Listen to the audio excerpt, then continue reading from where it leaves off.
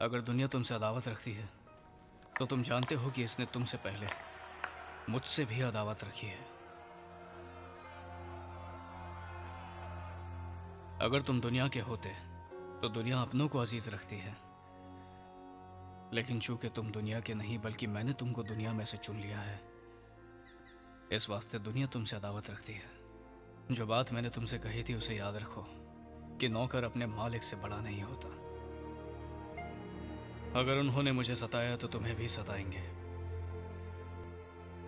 अगर उन्होंने मेरी बात पर अमल किया तो तुम्हारी बात पर भी अमल करेंगे। लेकिन ये सब कुछ वो मेरे नाम के सबब से तुम्हारे साथ करेंगे, क्योंकि वो मेरे भेजने वाले को नहीं जानते।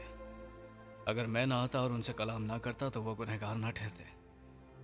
लेकिन अब उनके पास, उनके गुनाह का उज्र नहीं। जो मुझसे अदावत रखता है, वो मेरे बाप से भी अदावत रखता है। अगर मैं उनमें वो काम ना करता, जो किसी दूसरे ने नहीं किए तो वो गुनाहगार ना ठहरते। अगर अब तो उन्होंने मुझे और मेरे बाप दोनों को देखा और दोनों की अदावत रखी। लेकिन ये इसलिए हुआ कि वो कॉल पूरा हो, जो उनकी शरीयत में लिखा है